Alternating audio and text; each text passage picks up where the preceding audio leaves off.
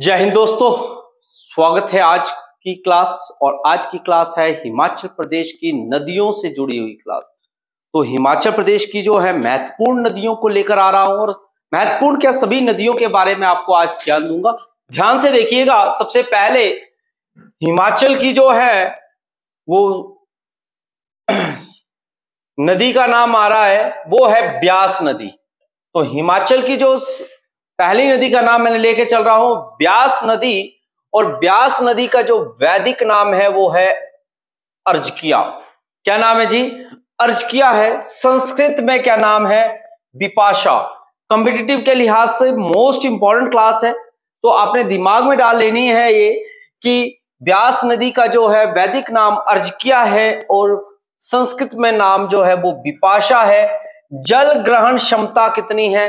तो 1200 वर्ग किलोमीटर की क्षमता है और इसकी लंबाई कुल कितनी है?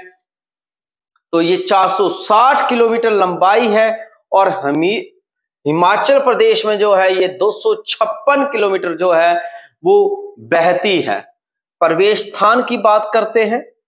हिमाचल प्रदेश में जो है, इसका ब्यास नदी जो है, बजोरा से मंडी में और संधोड़ मंडी और हारसी पत्थर जसीमपुर से जो है, वो कांगड़ा में प्रवेश करती है।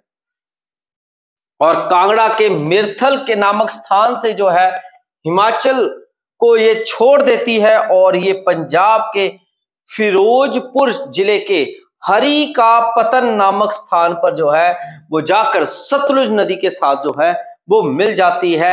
ये है हिमाचल की ब्यास नदी का इतिहास।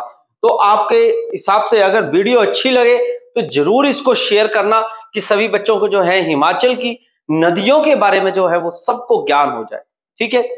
नेक्स्ट आ जाता है, ब्यास नदी की कुछ सहायक नदियाँ हैं, जैसे कि बनेर, बाणगंगा, लूणी, पार्वती, सैंज, तीर्थन, हरला, उल, सुकेती, चक्की, गज आदि। ये सभी जो है सहायक नदियाँ हैं ब्यास नदी की। और सबसे पहले है सैंज नदी, ये कुल्लू में बहती है, ठीक है? ये स्पीति के सुपा कनी चोटी से निकलती है और लार्जी जो डैम आपने सुना होगा, बाँध के पास जो है वो ब्यास नदी में जाकर मिल जाती है। ठीक है जी? और उसके बाद आती है नेक्स्ट आती है हारला नदी। जो कि कुल्लू भुंतर भुंतर एयरपोर्ट भी है, याद रखना, भुंतर के पास जो है व्यास नदी में मिलती है। कौन सी नदी मिलती है? हारला नदी। कौन सी बेटा? हारला नदी किससे मिलती है? ब्यास नदी से मिलती है। कहाँ पे? कुल्लू बुंतर के पास, ठीक है? नेक्स्ट आता है तीर्थन नदी। तीर्थन नदी जो है पीर पंजाल की श्रेणी से निकलती है और लारजी के साथ ही, डैम के साथ ही निकलती है और व्यास नदी में वहाँ पर मिल जाती है। ठीक है जी? नेक्स्ट आता है पार्वती नदी। कौन सी नदी? पार्वती नदी, ये भी सहायक नदी है और ब्यास की सबसे बड़ी सहायक नदी है।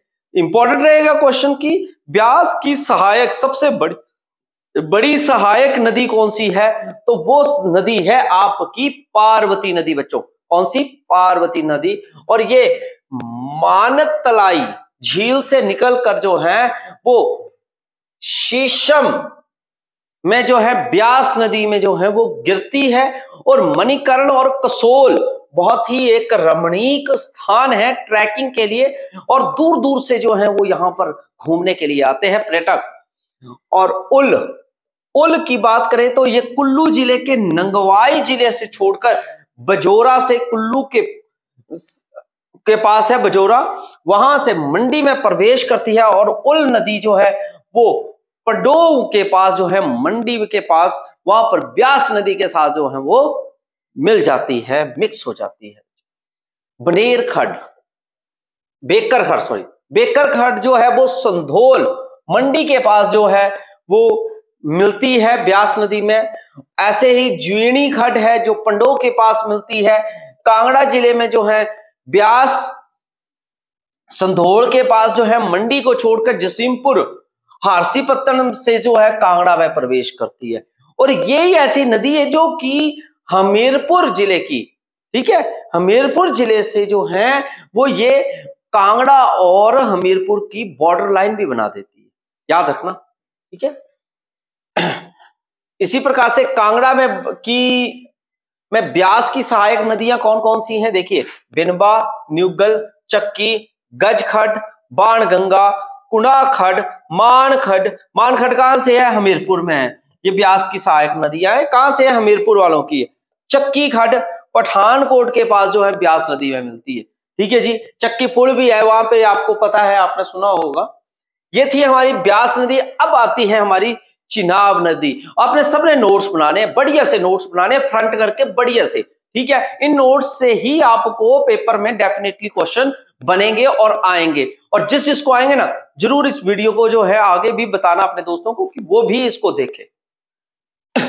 वैदिक नाम सबसे पहले याद रखिए, चिनाब नदी का वैदिक नाम क्या है? आस्कनी। क्या नाम है? आस्कनी। संस्कृत में क्या नाम है? चंद्र प्रभा क्या नाम है जी? चंद्र प्रभा जल ग्रहण क्षमता कितनी है? पचहत्तर वर्ग किलोमीटर जो है, वो ये चलती है।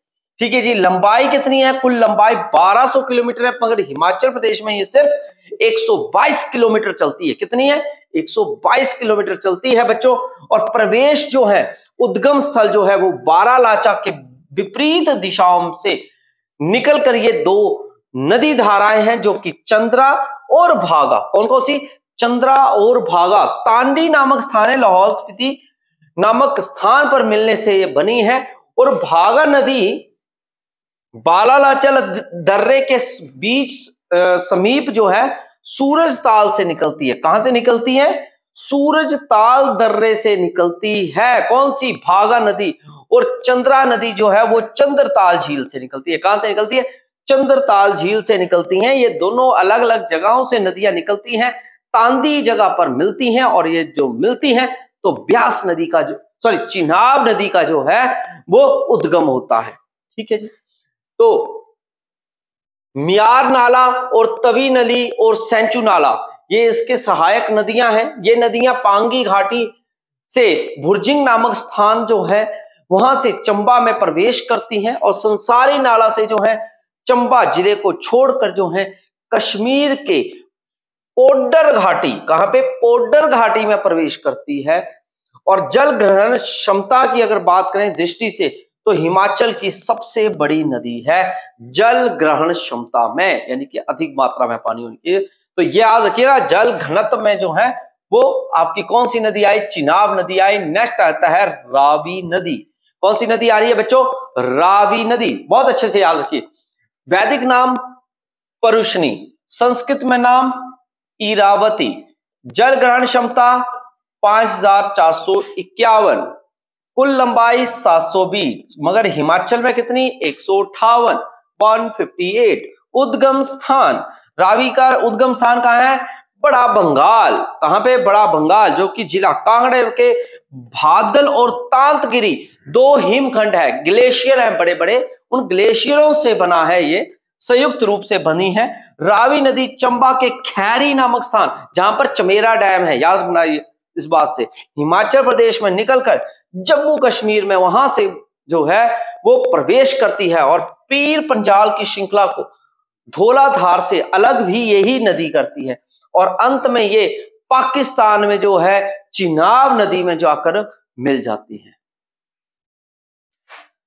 चंबा शहर जो है, इसी के दाएँ किनारे पर स्थित है। आप जब भी जाएँ चंबा तो इसके किनारे पर ही देखेंगे। साथ साथ में रावी नदी भी आपको दिखेगी।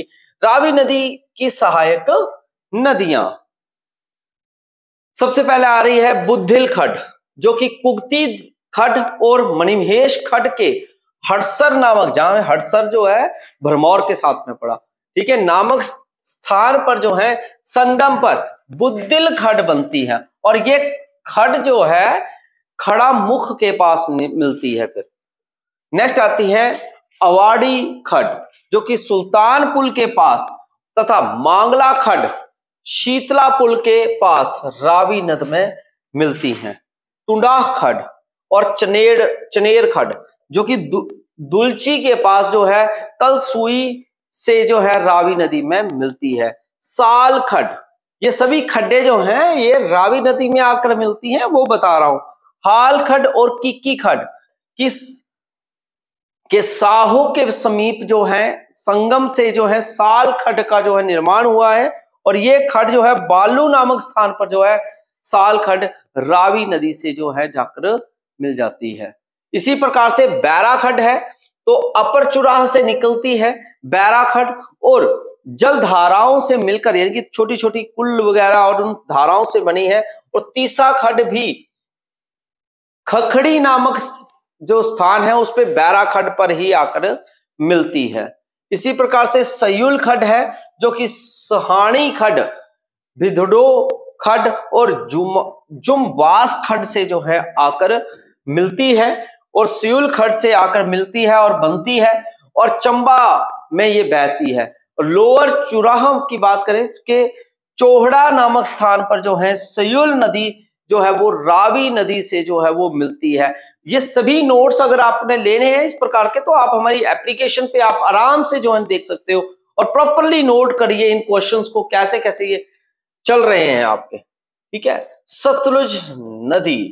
पहले वैदिक नाम याद रखना है बच्चों, शतुद्री। और संस्कृत में शतुद्र।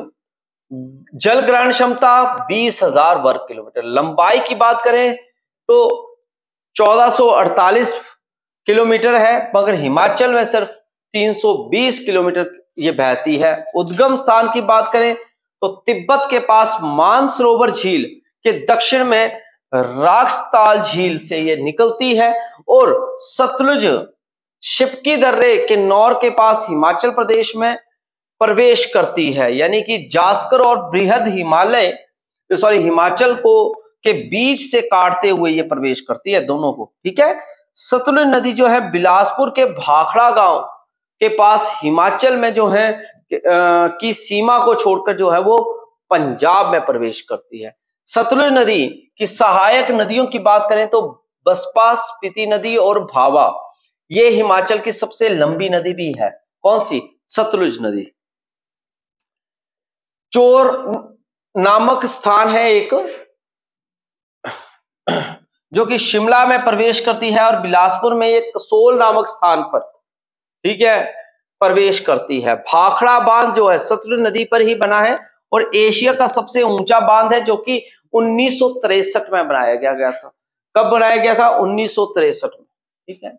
सतलुज नदी की सबसे बड़ी कृत्रिम जो झील बनाई गई है, वो कृत्रिम झील है, ये गोविंद सागर झील। कौन सी है? गोविंद सागर झील, जो कि सतलुज नदी पर ही बनाई गई है, अंत में। ये नदियाँ जो है, सिंधु नदी में ही मिलती है। ये भी कौन सी नदी में आकर मिली है? सिंधु नदी में। और बसपा जो है, इसकी सहायक नदी है। तो बसपा की पहाड़ियों से निकलकर जो है करछम के पास सतलुज नदी में मिलती है। और करछम जो है, वो हिंदुस्तान और तिब्बत के पूर्व उत्तर में स्थित है।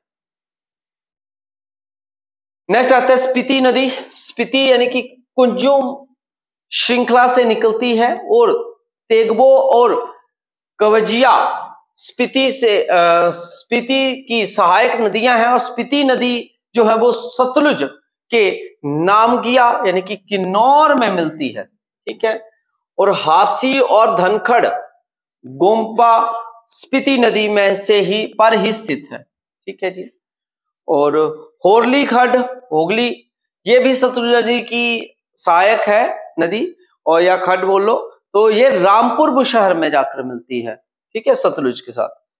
सतलुज नदी फिसू गाँव के पास जो है, मंडी ज़िले में भी प्रवेश करती है। हर जगह से जा रही है भैया, याद रखना है इस नदी को। नेक्स्ट आ जाती है यमुना नदी। वैदिक नाम है कालंदी, यामी भी बोलते हैं इसको। ठीक है, जल ग्रहण क्षमता है 2320 लंबाई 1525 हिमाचल प्रदेश में सिर्फ़ ये 22 किलोमीटर चलती है, इसलिए सबसे छोटी नदी है। उद्गम स्थान की बात करें तो ये कालिंदी पर्वत यमुनोत्री उत्तराखंड से आती है और हिमाचल प्रदेश की सबसे छोटी नदी है, जैसे मैंने आपको अभी बताया। और सूर्य देव से जो है, इस नदी का पौराणिक संबंध है, यानी कि माना जाता है सूर्य देव का संबंध। और प्रवेश स्थान बात करें तो यमुना नदी खोदरी माजरी सिरमौर मोस्ट इंपॉर्टेंट खोदरी माजरी, बड़ा भारी आया है पेपरों में, हिमाचल प्रदेश में प्रवेश करती है और ताजे वाला जगह है, हिमाचल को छोड़कर हरियाणा में ये प्रवेश कर जाती है, यानी कि चले जाती है। और इसकी सहायक नदियाँ हैं, गिरी नदी, टोंस नदी है, ठीक है जी?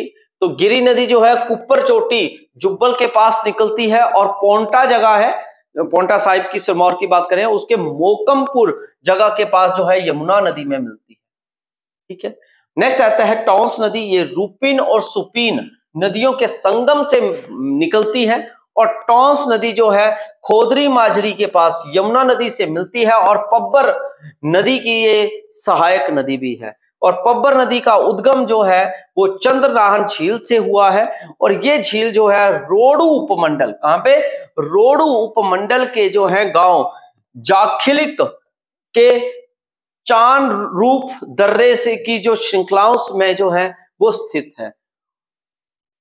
पड़सरी नदी की बात करें तो ये आंध्रा और पब्बर नदी की सहायक नदी यहाँ है। आंध्रा मतलब जल विद्युत परियोजना भी इस पे बनाई गई है। आंध्रा है चीड़ गाँव के पब्बर नदी में स्थित है और टोंस जो है हिमाचल और उत्तराखंड की सीमा बनाती है। क्या बनाती है जी? सीमा बनाती है। ये भी इंपॉर्टेंट क्वेश्चन है। ठीक है जी। नदियों से जुड़े हुए क्वेश्चन है, ये वन लाइनर की फॉर्म में ये हमारी अगली क्लास में रहेंगे। और इन क्वेश्चन को हम कल लगाएँगे अगली क्लास में और आपने क्या करना है, इन क्वेश्चंस को प्रैक्टिस करनी है। ठीक है? जो मैंने पढ़ाया इसको ध्यान से सुनना है और अगली क्लास में ज़रूर अपना आंसर देना है। तो आई होप कि आप सभी क्लास में जो है, अगली क्लास को ज़रूर देखेंगे और उसमें मैक्सिमम क्वेश्चन लगाएँगे। तब तक लिए अपना खास ख्याल रखिएगा। जय हिंद, जय भारत, जय हिमाचल।